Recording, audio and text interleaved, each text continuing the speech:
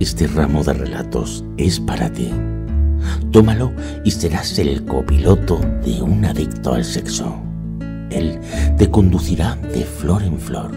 Como tú, podrás saltar de una historia a otra. Para su autora, María Jesús Zapater, en la flor de la rambla es como estar en la flor de la vida. Bienvenido a este barranco, al fondo de lo insólito, al fondo de la entrelínea. Ya a la venta en libreriacirculorrojo.com.